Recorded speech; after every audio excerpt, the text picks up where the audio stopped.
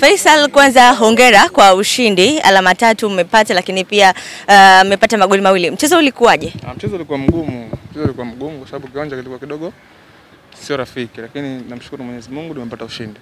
Watu walisifia sana goli lako, pengine zilikuwa ni um, mchezo ulikuwa rahisi kwako kwa mabeki pale, uliwa- uliwachezea vizuri sana.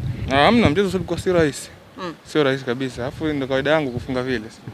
Ah, kawaida yangu Kawaida yako kwamba umeshazoea. nishazoea, nafanya sana mazoezi, ndio maana nakuwa nikifika maeneo fulani nikijua nikifika maeneo haya natakiwa nifanye kitu fulani. Kwa hiyo namshukuru Mwenyezi Mungu.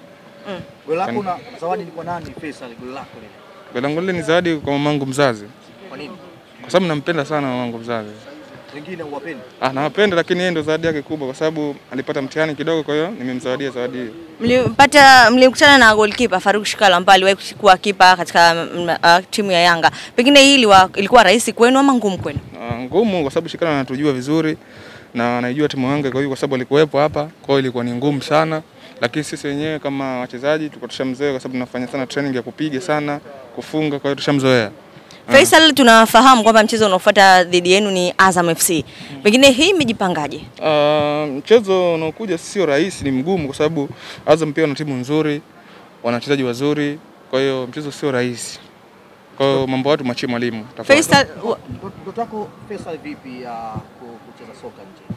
Ipo hiyo ama ndo tuone tu Yanga msimu huu? Hamna, hakuna mchezaji yote ambaye asitoka kutoka nje ya Tanzania. Wachezaji wengi wanatamani kutoka nje ya Tanzania, kwa hiyo nadhani muda tu. Muda ukifika, inshallah nitaondoka. hili limekuwa likizungumziwa sana kwamba Faisal muda wake wa kwenda nje umefika. Hii unaizungumziaje? Ah, ni kweli, lakini wacha tumwachie Mungu.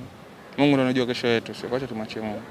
Vipi kuhusiana na kikosi cha Yanga sasa? Mmeimarika kwamba msimu huu ubingwa upo? Um, tuende, wa mashabiki wa Yanga waendelee kutusapoti na timu yao nadhani wanaiona.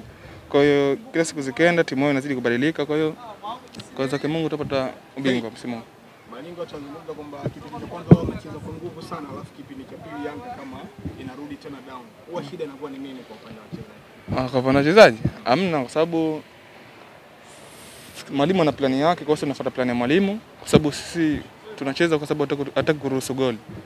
Kwa hiyo sometime timu tunacheza nao wanakuwa na wenyewe wanatafuta goli, wanakuja kwa kasi, kwa hiyo sengine tunakuwa- sometime ni jami na hivyo eh?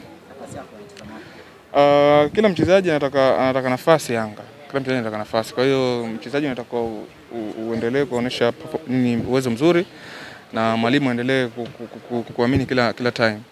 Shukrani. Asante sana.